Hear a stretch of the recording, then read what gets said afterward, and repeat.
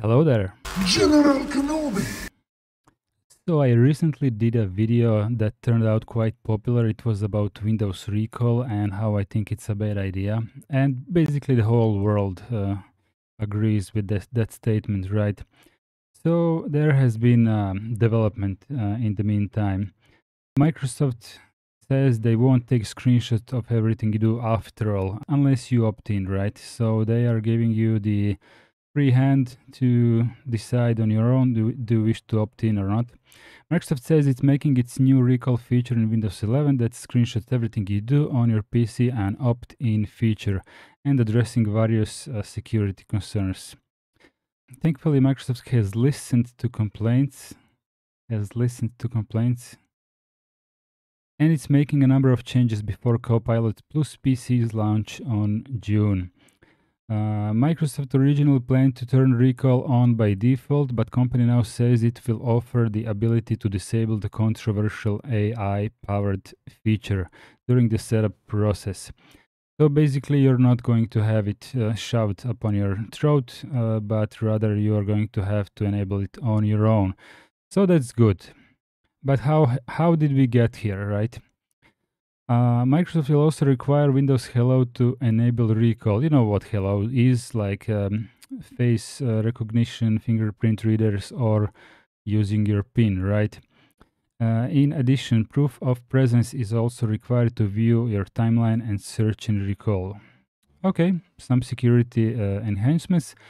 Uh, the authentication will also apply to the data protection around the snapshot that Recall creates. We are adding additional layers of data protection, including just-in-time decryption protected by Windows Hello and enhanced sign-in security. So Recall snapshot will only be decrypted and accessible when the user authenticates.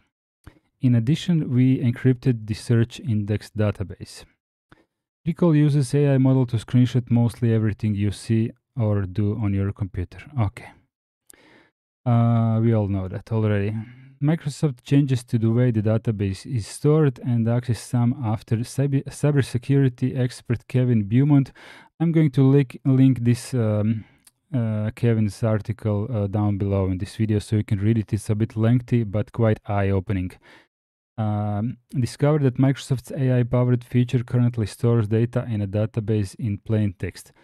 So let's let, let's read this sentence once more. Microsoft's AI-powered feature currently stores data in a database in plain text.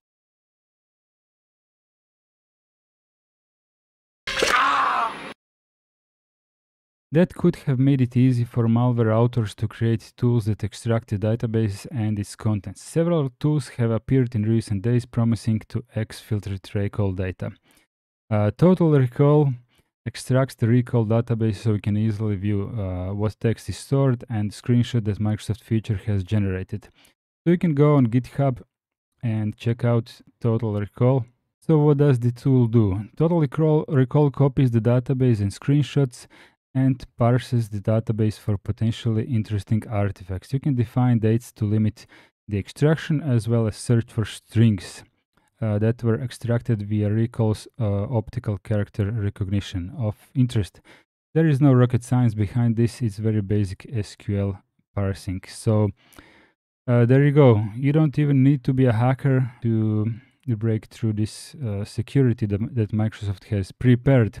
Microsoft developed the recall feature under its, its new Secure Future initiative that the company has put in place to overhaul its software security after major Azure cloud attacks.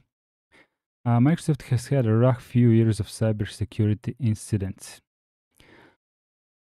They want to make security top priority, and they're saying if you're faced with the trade-off between security and another priority, your answer is clear: do the security said Nadella. As we always do, we will continue to listen to and learn from our customers, including consumers, developers, and enterprises, to evolve our experiences in ways that are meaningful to them, says Davuluri. We will continue to build this new capability as and uh, experiences for our customers by prioritizing privacy, safety, and security first.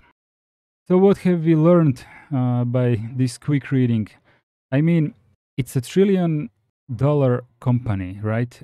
And all it takes is a couple of brilliant uh, home engineers to just dig through the database and discover that it's not really secure at all. I mean, I'm not saying I told you so, but you know, if you're going to uh, place your personal data under the protection of a certain company or a cor- corporation, uh, I would urge you to consider who you're trusting with your data and how important that data it is to you. I mean, if you're only using your laptop for um, a bit of surfing the internet and usually not even logging in uh, anywhere, fine, I guess, fine.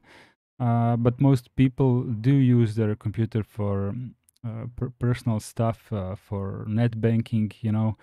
It's a bit unfortunate that a company with so much money uh, wasn't able to predict this outcome. So it's not up to me to say anything uh, after reading this, right? Uh, I have already chosen to use Linux for myself. Open your mind. Usually it's not any distribution. Um, I'm currently running Debian.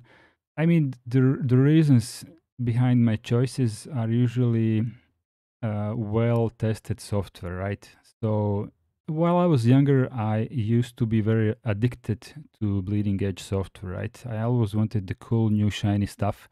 Uh, but life taught me that it's generally a bad idea. And if you want stuff to just work, you should stick to what's verified uh, and um, and well tested, right? So it is what it is, right? I'm gonna see you in the next video.